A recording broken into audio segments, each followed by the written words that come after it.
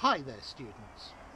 In English we have a phrase to cut out the dead wood. Well this is unfortunately dead wood. If you cut out the dead wood you remove the things that are no good to you.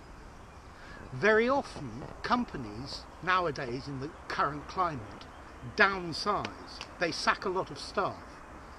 And very often they say, well, what we need to do is cut out the dead wood, to sack the people that are not productive, to sell the parts of the company that don't make money, cutting out the dead wood and keeping the live. Okay, so that what's live can continue to grow.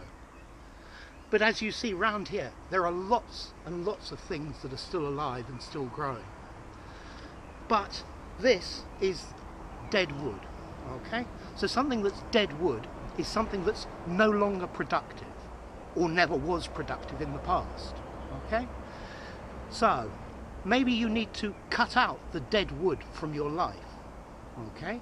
To not do the things that don't do anything for you, that don't produce happiness or money or relaxation or something positive, okay?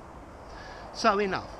If you enjoyed the video, give it a rating, subscribe to my channel, and I'll see you soon. Bye for now. So remember, cut out the dead wood. Dead wood.